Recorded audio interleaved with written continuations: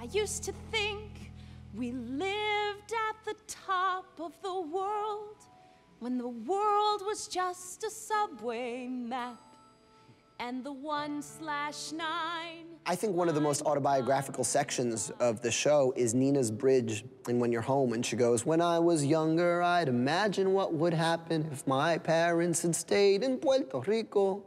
Um, that line is like what I spent most of my childhood wondering. Come with me. That question of finding home is not only a, a, geographical one, but really an emotional one of, you know, what does it mean to be Puerto Rican if you don't live in Puerto Rico? Or Dominican if you don't live in the Dominican Republic?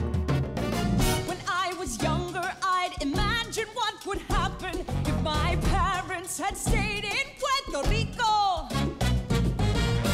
Who would I be if I had never seen Manhattan? If I lived in Puerto Rico with my people, my people. I feel like all my life I've tried to find the answer, working harder, learning Spanish, learning all I can. I thought I might find the answer out at Stanford, but I'd stare out at the sea, thinking, where am I supposed to be? So please don't say you're proud of me when I've lost my way.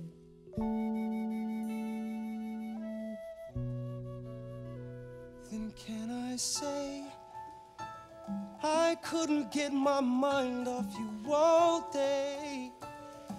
Now listen to me, that may be how you perceive it. But Nina, please believe that when you find your way again, change the world, and then we're all gonna brag and say I knew her when.